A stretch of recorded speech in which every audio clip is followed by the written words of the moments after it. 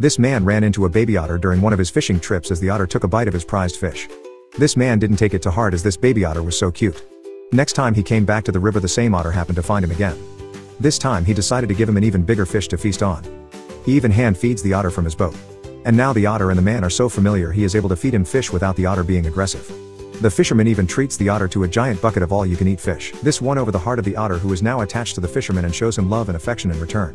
By now the man has adopted this river otter as his pet and even takes him on joyrides to explore the world. The otter loves the feel of the wind and getting pets and massages on his head. He even gets to have delicacies like these tiny crabs. He especially loves to do his little crawl on the sofa like a spy. His all-time favorite food is salmon chunks but they do make him have a food coma afterwards. He loves to play in the water so the garden hose is a hotspot. He loves to sleep even in his owner's hands so he even has his own bed now. What a loving family.